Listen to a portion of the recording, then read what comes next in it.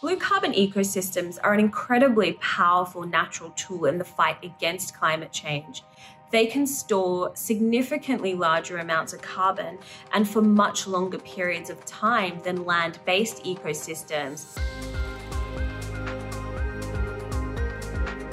There are still many barriers that prevent the development of a full scale blue carbon market.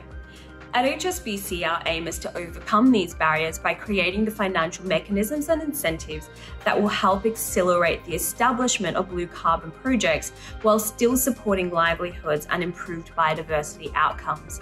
And that's exactly what we're doing with our two projects in Australia.